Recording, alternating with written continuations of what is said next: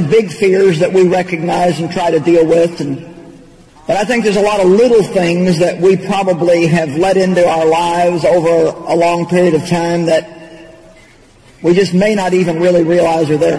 But one of the fears that we have that we may not even think is fear is doubt. And you know, doubt really is a very close relative to fear, or we might even say that it is a type of fear.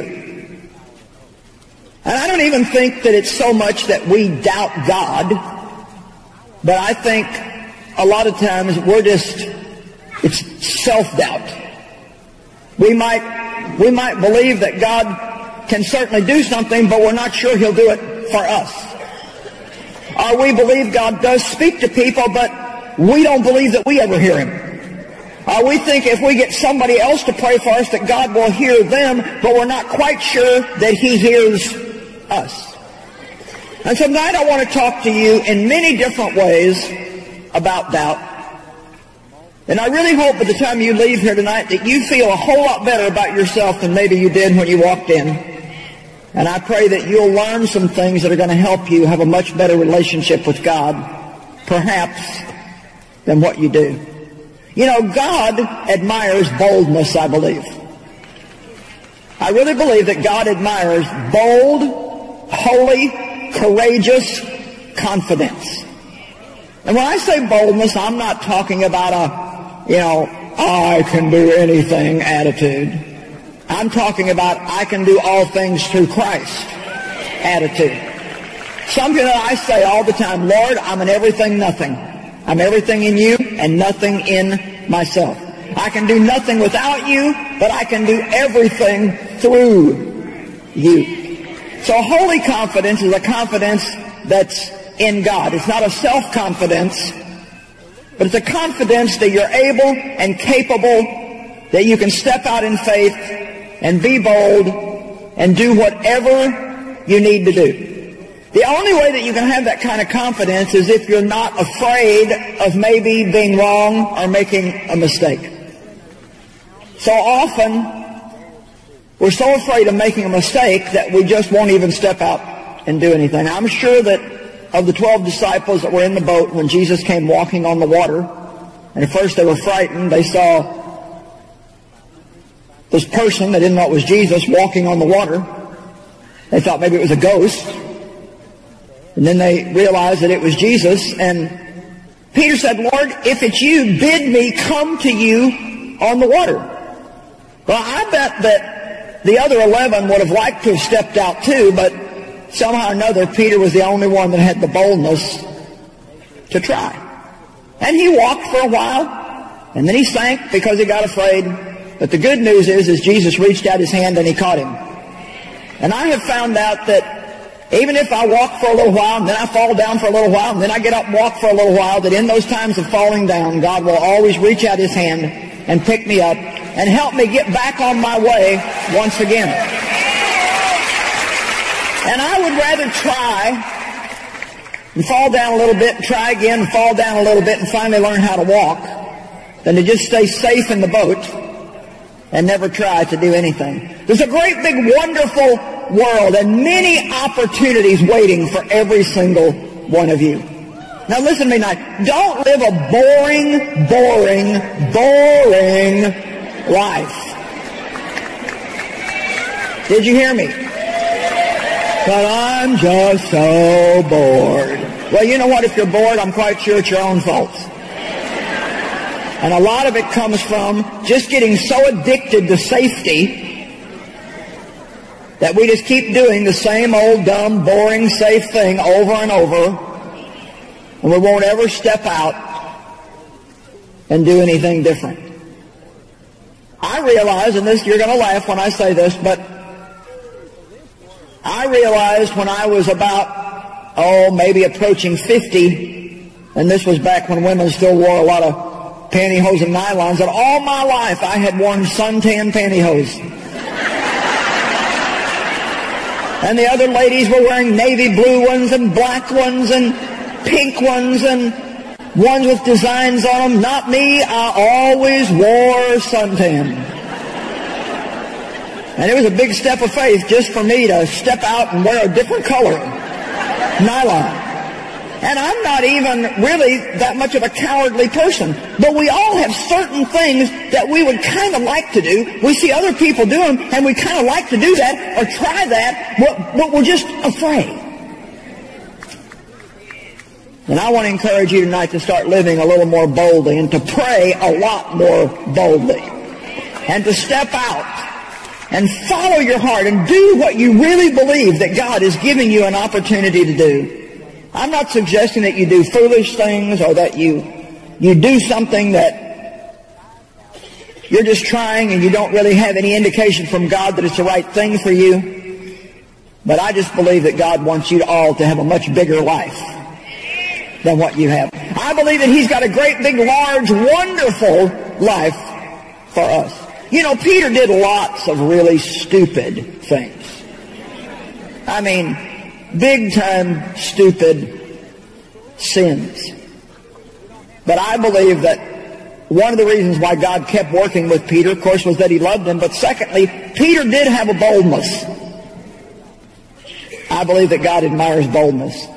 You know, Zacchaeus was a little short guy that wasn't able to see Jesus because there was such a huge crowd. But he was bold. He ran on ahead of the crowd and he climbed up in a tree so he could see Jesus. And interestingly enough, when Jesus passed by, his attention was drawn to Zacchaeus and he said, come on down here, I'm going to go to your house for dinner. Why out of all those people did he go to his house for dinner? Well, he was the only one who climbed a tree. And you know, you can translate that climbing the tree into just about anything that you want to. I'm sure a lot of people walked off that day and said, oh, too many people, I can't see them. They wouldn't make the extra effort or go the extra mile. Caleb, the Bible says, the Bible talks a lot about Joshua and Caleb, and it says that they had a different spirit, a different spirit than the rest of the men. And when the land was being divided out to the tribes, Caleb said, give me that mountain. 85 years old, and he said, give me a mountain. Are you ready to take on a mountain at the age of 85, or have you already decided you're too old to start something new? Now, I know you're not all in the category of older, but you will get there sooner or later. And you don't want to have a wrong mindset about it. You don't, you're never too young and you're never too old to do something great for God. It's never too late to begin again. I said it's never too late to begin again.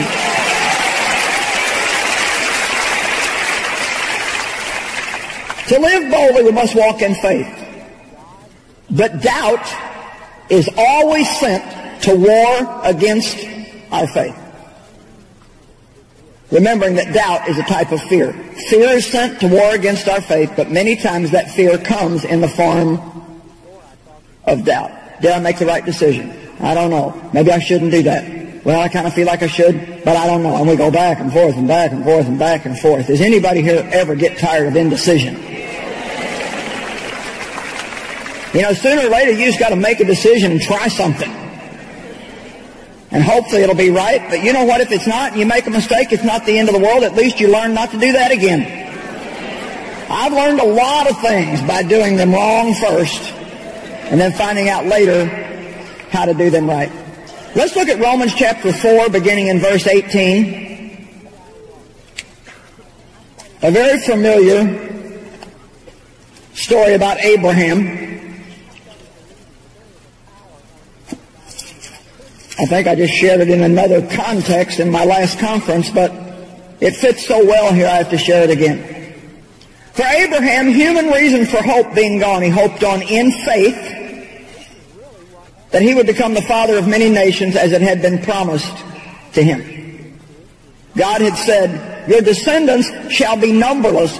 Well, the problem with him having descendants was he didn't even have any children. He did not weaken in faith when he considered the utter impotence of his own body, which was as good as dead because he was about a hundred years old. or when he considered the barrenness of Sarah's deadened womb. He did consider it. He did think about it. He did look at it, but he still believed that God was greater. But now watch verse 20. No unbelief or distrust or doubt made him waver, doubtingly question concerning the promise of God. Now it doesn't say that doubt and unbelief didn't present itself to him. It says that it didn't make him waver. In other words, I think Abraham had enough faith in God that when doubt came, he doubted his doubts. So maybe the next time you're stepping out to do something and doubt comes, you need to say, I doubt that doubt. I believe God and I doubt my doubts. You have to remember that doubt is just trying to confuse you and steal from you and it wars against your mind. And one of the things that we need to learn how to do when we're in confusion is we need to just stop and turn the brain off and look in our heart. Just stop and say, what is really in my heart? What do I really believe? Not what do I think? How many of you know there's a big difference in what you think and what you believe a lot of times? The battlefield is the mind, and Satan will do warfare with your mind, firing one thought after another, after another, after another. We talked this morning about the fiery darts of the enemy. And how the shield of faith is the only thing with which we can quench all the fiery darts of the enemy. And I think those fiery darts are thrown at our minds and at our emotions. Amen? And so when you believe in your heart that you're supposed to do something, and it usually comes like, it's like an unction or what I call a holy umph. It's like, oh. And then you start to think about it. It's amazing how many dreams we kill by thinking about them. I always say you can think a thing to death if you think about it long enough. David had confidence that he could kill Goliath. Even though he was much smaller, wasn't well equipped, Saul said, well, you'll at least need to wear my armor. He tried to do that. He couldn't do it because David wanted to just go in the confidence of God. And I love what the Bible says that when him and Goliath were talking back and forth and Goliath was threatening him, I'm going to do this and I'm going to do that to you. Of course, David was talking back, I come to you in the name of the Lord of hosts, and this day I'm going to cut your head off. And the Bible says that David ran quickly toward the battle line. And I love that because I think if he would have stood there and looked at Goliath too long, he might have ran in the other direction. And I think that Abraham considered his impotent body, but he didn't stare at it for three weeks. He maybe looked at Sarah, who was a little bit old and wrinkled and had already had the change of life, and thought, there ain't no way.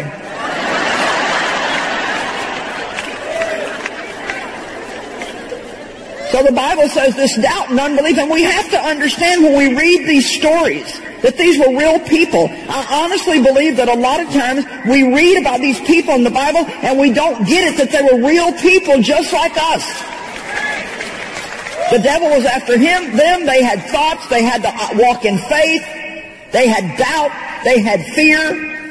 And the things that we see them do are put here for us to learn from that if we will follow their example, we can have the same kind of victory that they had. And so what does it go on and say about Abraham? If we can put the scriptures back up, it says that no unbelief or distrust made him waver or doubtingly question concerning the promise of God, but he grew strong and he was empowered by faith as he gave praise and glory to God. So what did he do when doubt came? He opened up his mouth. And what is praise? Praise is telling a tale about the goodness of God. He gave praise to God. It probably went something like this. God, I remember the good things that you've done for me in the past, and I remember how faithful you've been to me since you told me to leave my home and go to a place that you would show me, and I've seen you do this, and I've seen you do that, and I give you praise, God, that you're going to do it again. Doubt cannot make you cave in if you will open your mouth and war against it with words of faith.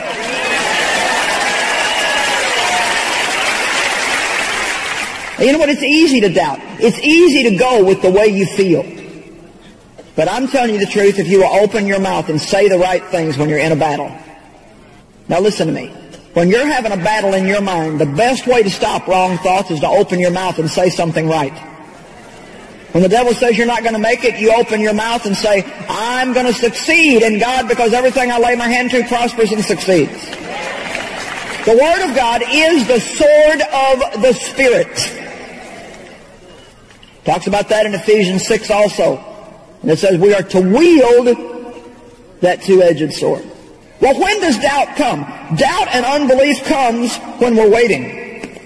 You know, if we prayed and got what we wanted immediately, we'd never have a problem with doubt and unbelief. So why does God make us wait? Because our faith must be tested to find out if it's real and genuine. And it must be tested in order for it to grow. Stretching causes growth. And many of you, I might even be able to say most of you, are in a place in your life right now of being stretched. And it's amazing how irritating it can be sometimes when you know that you know that you know that what you're asking God to do would just take no effort on His part at all. And yet, he just makes you wait. Is anybody there right now knows what I'm talking about? Or you keep having to deal with the same thing over and over and over and over. Let me tell you something. I know what kind of week you had, but I didn't have such a hot week either. We had one thing that I was dealing with that I'd been dealing with for a long time, and it was a very stressful day of dealing with it, and lo and behold, after dealing with it for almost four years, got a breakthrough and a good report. But now, wait, wait, wait, wait, wait. The same day, something else came up that I thought was solved. I was sure that one was solved. I was just enjoying my peace, thanking God for victory, and the whole mess started up all over again. We always all have something to practice on. I was kind of glad that I was preaching on faith this weekend. Because even if you don't need it, it'll help me. We all have times of getting what we want, and we all have times of not getting what we want and having to wait and stretch our faith just a little bit further. And the only thing that I've ever found that will help me is to just believe that God knows more than I do and that all things will work out for my good in the end.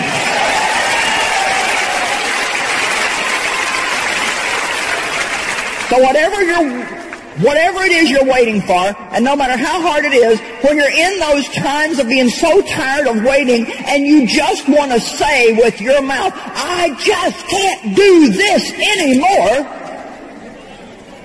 instead of saying that, you need to open your mouth in faith and say, God, you'll never allow more to come on me than what I can bear. If I couldn't take this, you wouldn't be letting it happen. And I know that you will not be late, not one single day. At just the exact right time, my breakthrough is going to come. Doubt comes during times of waiting. The Bible says in Hebrews 10, 35 and 36, that we only inherit the promises of God through faith and patience. Not just faith, but faith and Patience. The Greek word for patience says it's a fruit of the Spirit that only grows under trial. So we release our faith and then we get a trial. we release our faith and then we get opposition. We release our faith and then we have to wait a lot longer than we want to wait. And during that time, we are developing patience. So we never receive the fulfillment of our faith unless we also have some patience to go along with it. And patience is not just the ability to wait, it's how we act while we're waiting. I can tell you one of the ways you can shorten your wait.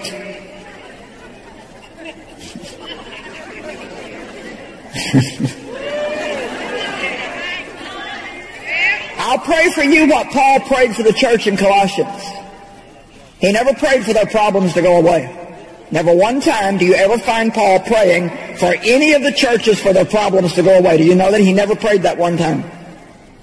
But I'll pray for you tonight what he prayed for the Colossians. I pray for you that you would be able to endure whatever comes with good temper.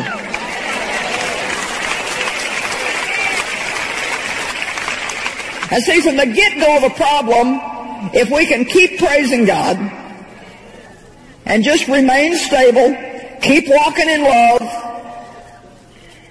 don't get a bad attitude, I think the wait would probably be a lot shorter than what it is. You know, it doesn't take a genius to figure out why we have to have these times of growing. All we have to do is watch how we behave during trials.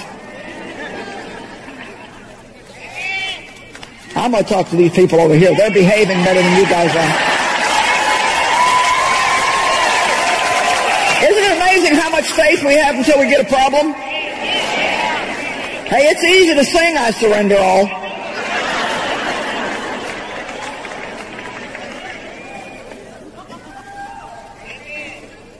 Exodus 13, 17, I want us to look at something that I find interesting. When Pharaoh let the people go, God led them not by way of the land of the Philistines, also that was, although that was nearer. For God said, lest the people change their purpose when they see war and return to Egypt. In other words, what he's saying there is God purposely led them the long, hard way. Why? Because he said they're not really ready for war. Well, why did they need to be ready for war? Because God wanted them to go in and possess the land. But if you study the word possess, it means that in order to possess, you have to dispossess the current occupants. So when God sent them into the promised land, He wasn't sending them into a place that had no enemies. It was full of enemies. There was going to be war after war after war after war.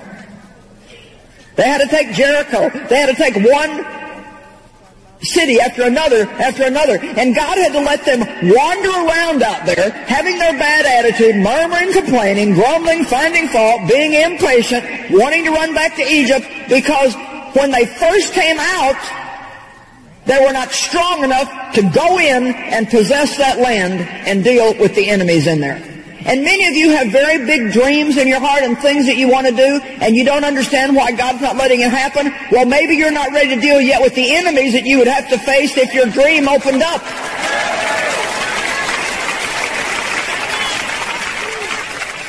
Let me tell you something. If you're praying to be used by God, the more people you can help, the more opposition you're going to get. 1 Corinthians 16, 9, Paul said, A wide door of opportunity opened unto me, and with it many adversaries. I wish sometimes that I could explain to people, and I, unless I wrote a very long book, I couldn't, about what it's taken and what's been required for me to get from February of 1976 when I felt like God spoke to me about what He wanted me to do with my life to now. I don't even have any idea how I would even begin to tell you. The pain, the stretching, the millions of times I wanted to quit and give up, the opposition from people, the opposition from the devil, the times my body's been attacked, my mind's been attacked, my emotions have been attacked. I don't even know how to begin to tell you, but you know what? I wouldn't trade it for anything in the whole world. Nothing. The word doubt means to be without a way, and we're never without a way because Jesus is the way.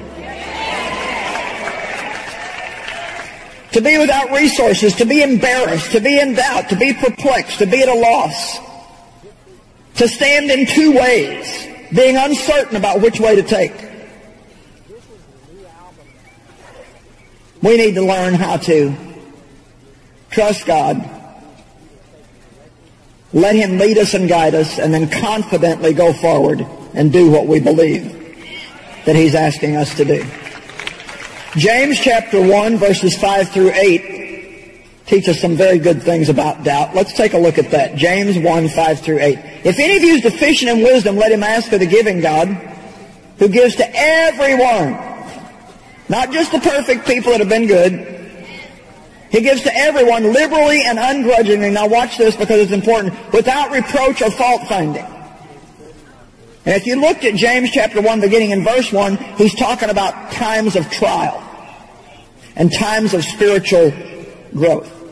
So can I go so far as to tell you that even if we have gotten ourselves in trouble, open a door through our own lack of knowledge our lack of wisdom, and we ask God to help us, even if my problem is my own fault and I ask God to help me, He will forgive my sin, He will not find fault with me, He will not reproach me, and He will help me and He will help you.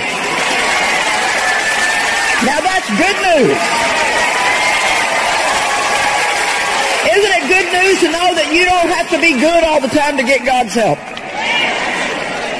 Now let's put that back up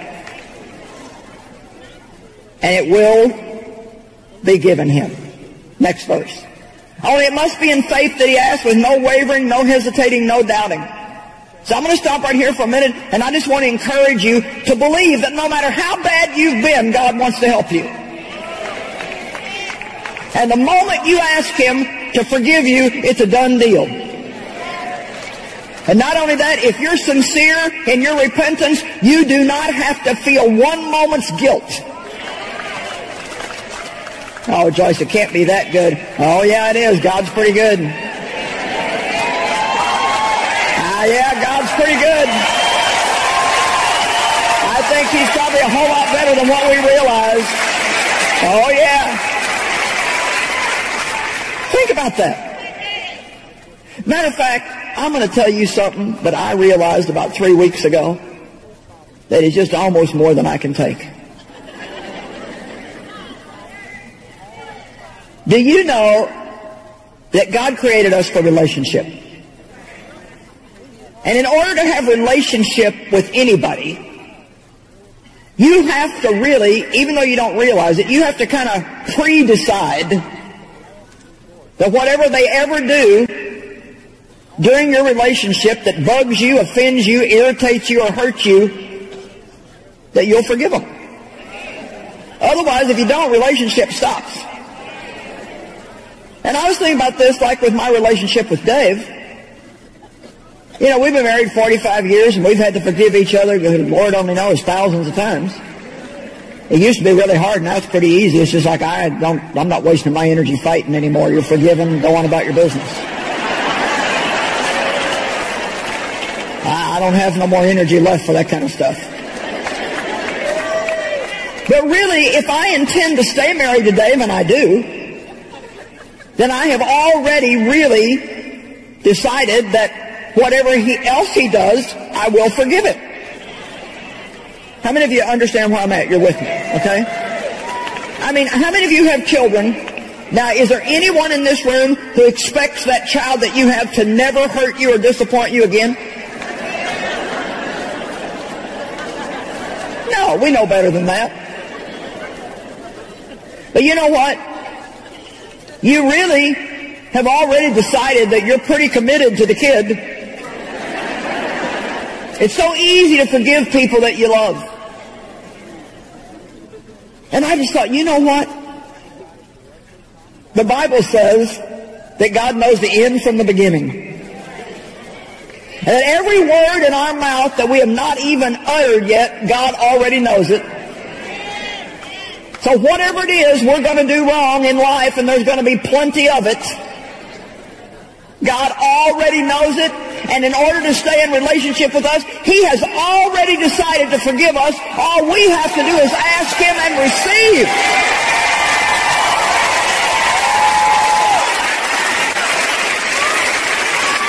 Now that is just absolutely so amazing I can't hardly take it. Ask and receive that your joy might be full. Not ask and doubt and ask and doubt and ask and doubt and ask and doubt. Just ask and receive. The forgiveness for everything that we would ever do wrong was already provided over 2,000 years ago when Jesus died on the cross.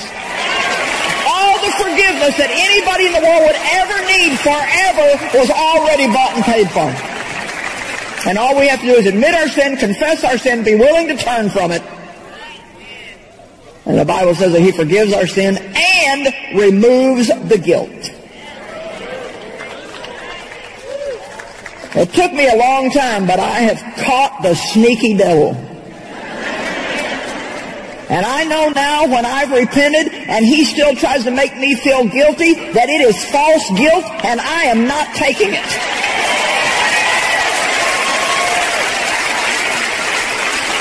It's a lie. It's false. Because if my sin has been removed as far as the east is from the west, and God remembers it no more, He put it so far from Him He doesn't even remember it, how can we be guilty about something that doesn't even exist? Wow, wow, wow, wow, wow. My goodness. Mm-mm-mm. Too good to be true.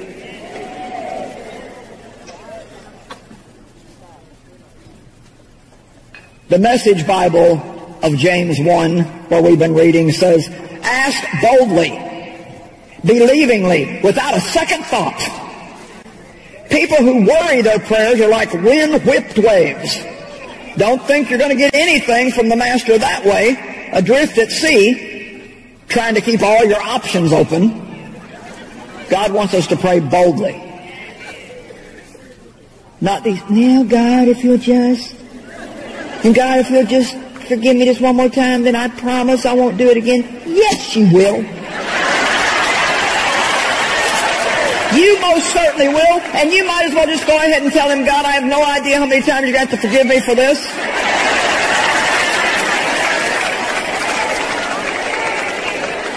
Now, it's one thing if you're getting up every day with a sloppy ad- attitude, trying to sin, and you don't even care. I'm talking to people tonight who love God with all your heart, and you want to do the right thing, but you just make mistakes.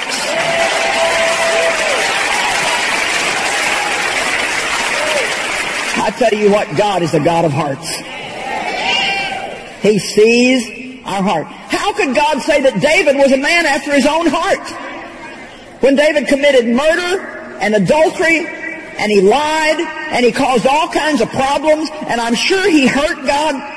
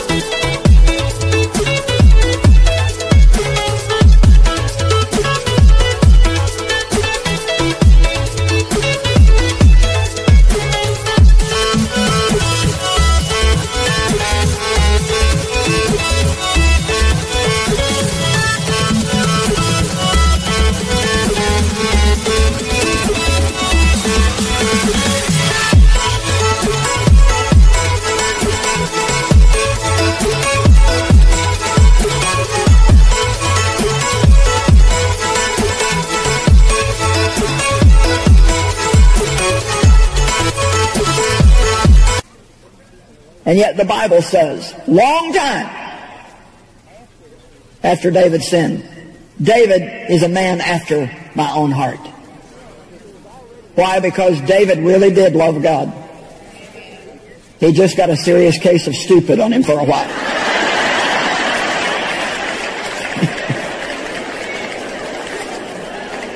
Have you ever, even in the midst of loving God, gotten a serious case of stupid for a while? Amen. I want to tell you something. The Bible says a thief comes only to kill, steal, and destroy. But Jesus said, now get this, I came that you might have and enjoy your life and have it in abundance to the full until it overflows.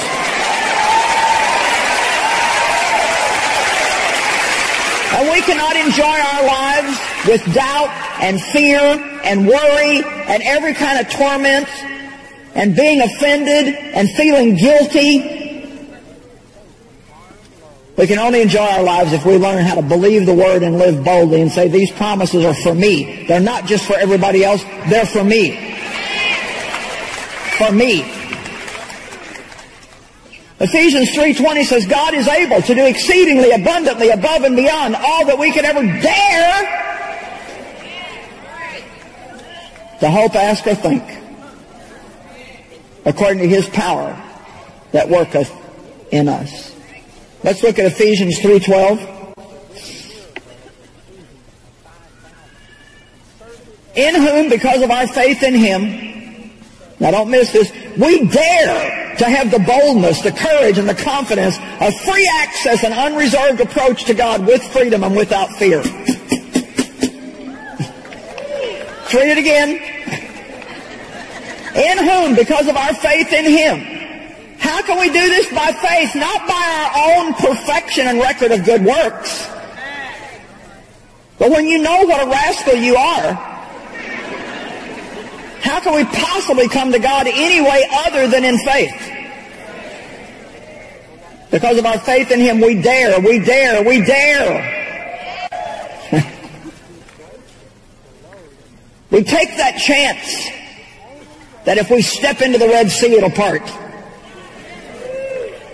We take that chance that God's Word is true and we're going to act like we believe it. We dare to approach Him with boldness and confidence, with an unreserved approach, with freedom and without fear. We don't even have to approach God wondering if He's mad at us. Are you always judging yourself? Are you your own judge, jury, lawyer? And is the verdict always guilty? Guilty? Do you judge every move you make? I shouldn't have done that. I shouldn't have said that. I should have done better. I shouldn't have bought that. I shouldn't have gone there. I shouldn't have eaten that.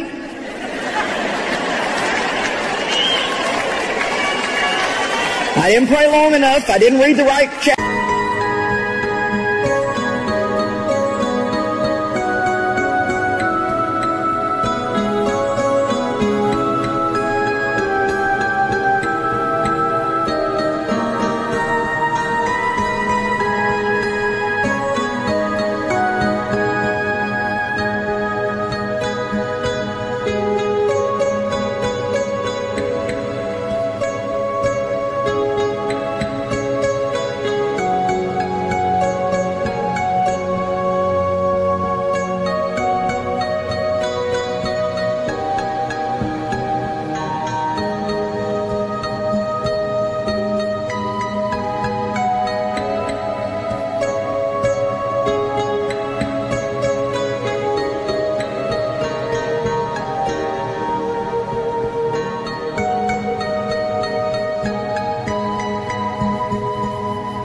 In the Bible.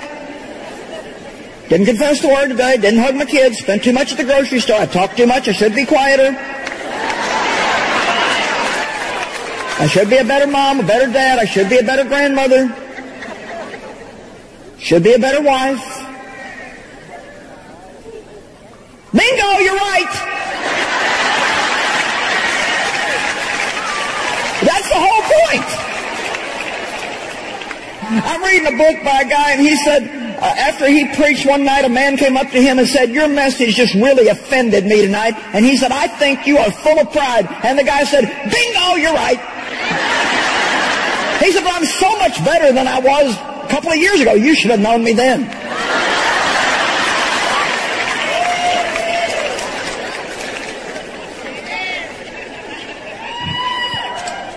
And see, the good news of the gospel is do make all those mistakes all the time, but it doesn't matter.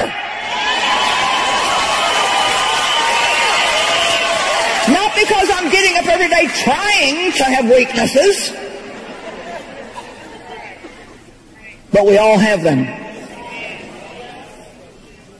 We just all have them. And if we didn't have any, then there would have been no need for Jesus to go through what he went through.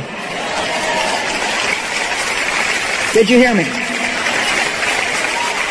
And if you want to live under the law, you're welcome to do it, but I highly don't recommend it. There's two ways to live according to Galatians. Two covenants the Bible says in Galatians 4. And they're both represented by two children that were born to Abraham and Sarah. One was born according to works of the flesh and represented slavery and bondage. One was born remarkably according to promise, and his name meant laughter. If you want to enjoy life, you got to let God be God. And that means believe the Word. Get up every day and do the best you can. And know that God understands and sees your heart. And if you love Him, just love God and let Him love you. Make it more about relationship than your own perfection. Don't find something new 20 times a day to be mad at yourself about. Let's get more like the Apostle John. I'm the disciple whom Jesus loves. I mean, isn't that amazing? It's in the book of John that John wrote. And he's talking about himself. And three times he says, I'm the disciple whom Jesus loves. And David said, I am God's anointed. Well, most of us would no more think that we could say something like that. Well, who do you think you are? I'm God's anointed. Wow. Stop trying to impress yourself with your perfection. Come on now, somebody needs to write that down.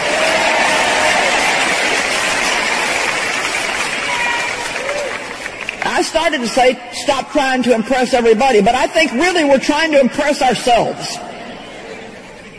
Stop trying to impress yourself with your perfection and just say, God, I'm such a big mess. I don't know how you could ever possibly do anything for me, but I tell you what, you said you would, so I'm going for it. I'm going to go for it where I need to be, but thank God I'm not where I used to be. I'm okay and I'm on my way. Amen. I'm not, I'm not, I'm not, I'm not, I'm not. Well, yes, we all need to change. There's no doubt about that. But you can't change yourself. And if you don't believe me, just keep trying. Just give it another good three, four, five, six years, or maybe even ten. And when you're totally and completely worn out with your own effort,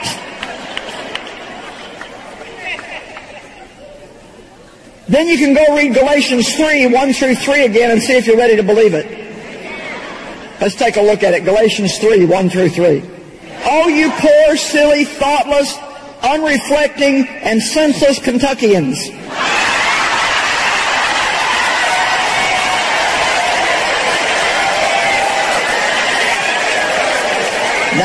Everybody watching on TV is not from Kentucky, so this includes your state too. Who has fascinated or bewitched or cast a spell over you, unto whom right before your very eyes, Jesus the Messiah was openly and graphically set forth and portrayed as crucified? Let me ask you a question. Did you receive the Holy Spirit as a result of obeying the law and doing its works, or was it by hearing the message of the gospel and believing it? Watch. Now, was it from observing a law of rituals? Was it from your own perfection? Or was it simply from a message of faith? How did you receive Christ? You came to the end of yourself. You said, I'm the biggest mess that I could possibly ever be.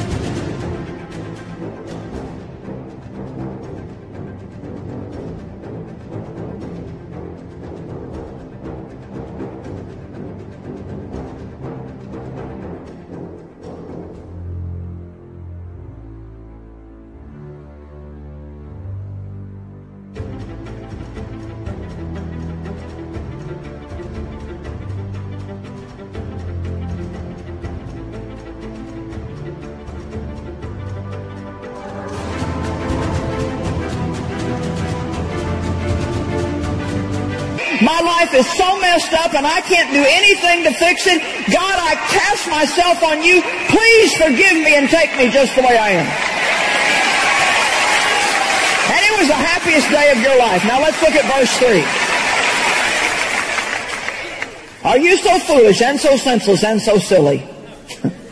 Having begun your new life spiritually with the Holy Spirit, are you now going to reach perfection by depending on the works of your flesh?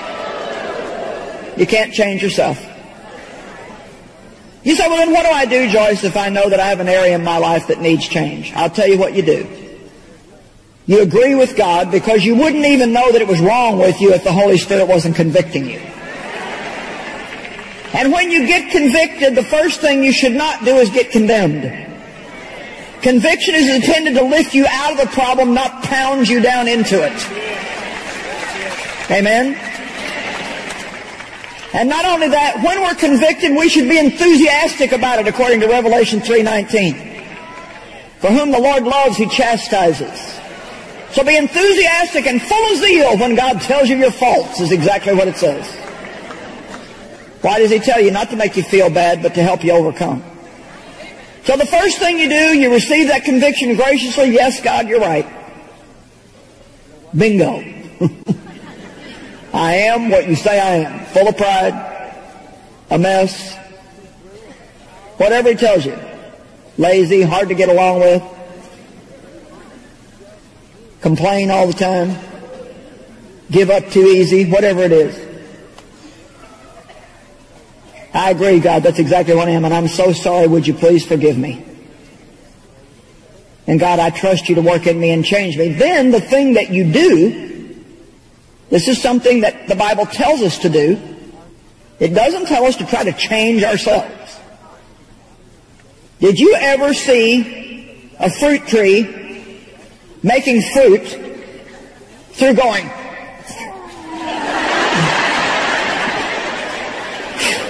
no fruit. Let me try again. no, what does John 15 says? If you abide in me, and my word abides in you, you will bear much fruit. So what do you do? Whatever area it is that God brought conviction in, you go to the Bible and you study in that area. I don't believe we use the Word of God correctly many times. Yes, it's great if you want to read the Bible through in a year or something like that, but let me tell you something. If you got a bad temper, you don't need to study prosperity.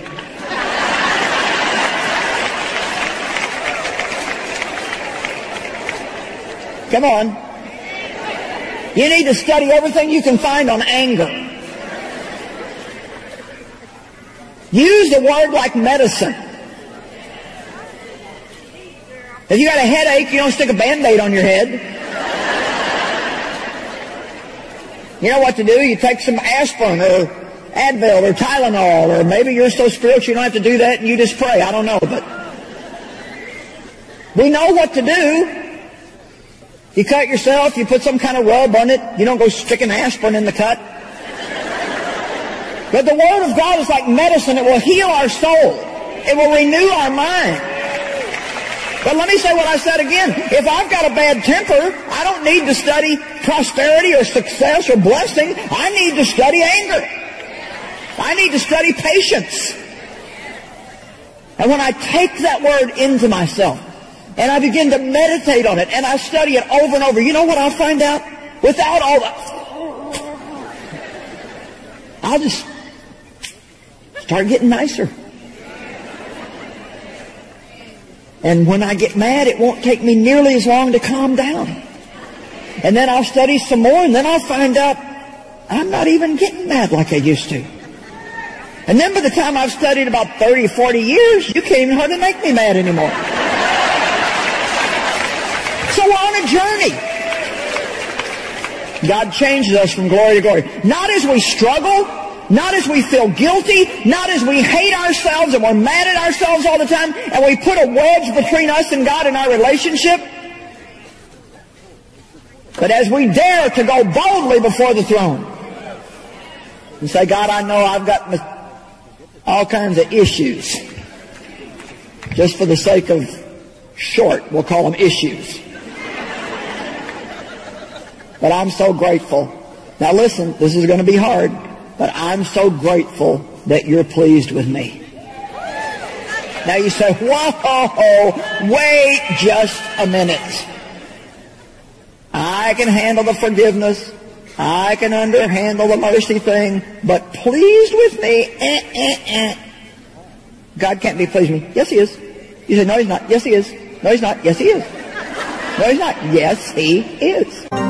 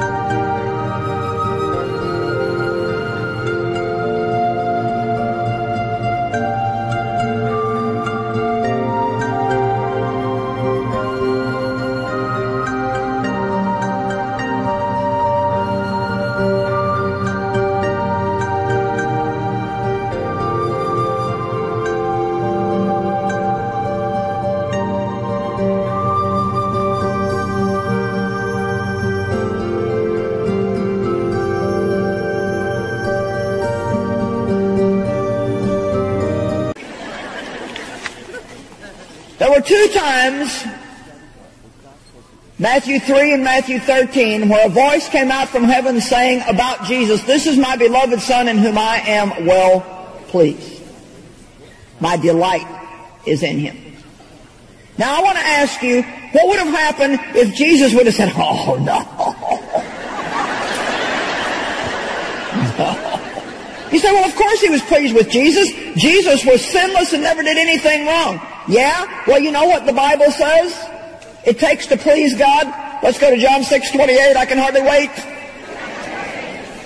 John 6, 28 and 29. Ooh, hurry, hurry, hurry, guys. This is so good. Then they said, what are we to do that we may habitually be working the works of God? What are we to do to carry out what God requires? In other words, what must we do to please God? This is the work that God requires of you, that you believe in the one whom He has sent. So, Jesus never did anything wrong. We do stuff wrong all the time. But if we have our faith in Him, then God sees us as in Him. And so whatever Jesus gets, we are joint heirs with Him and co-inheritors. So when God spoke over Him and said, this is my beloved Son in whom I am well pleased, He also said it to anyone who's in Christ. Oh my gosh, I may have to run the building. I don't know. In Christ we are born again. In Christ we're sanctified. In Christ we're redeemed. In Him we can pray in His name and get our prayers answered. Come on, you need to shake off some of this nonsense.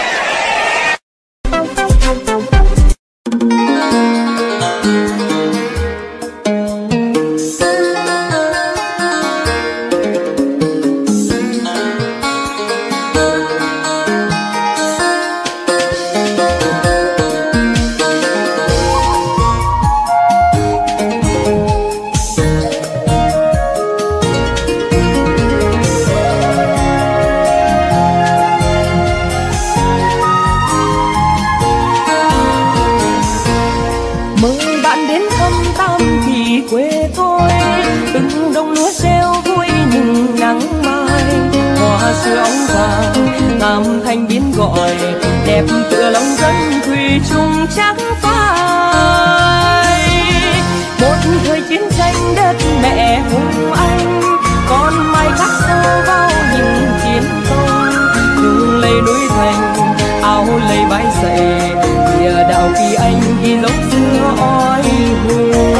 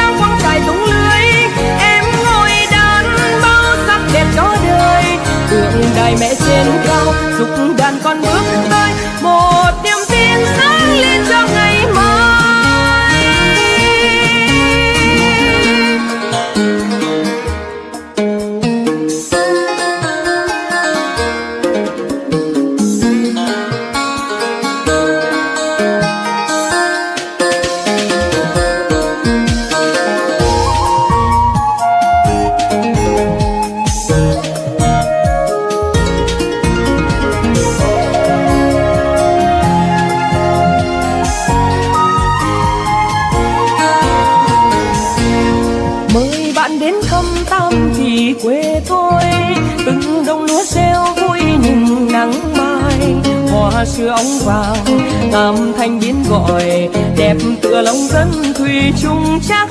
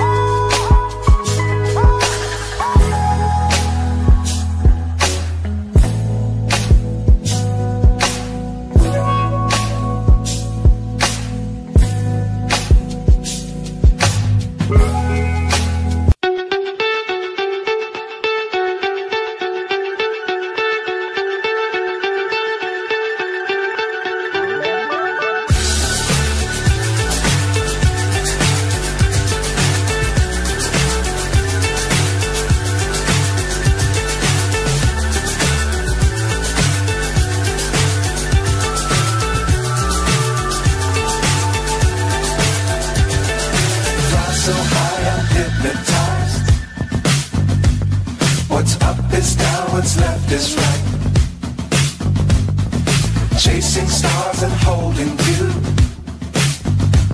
I can't see the end, but we'll see it through.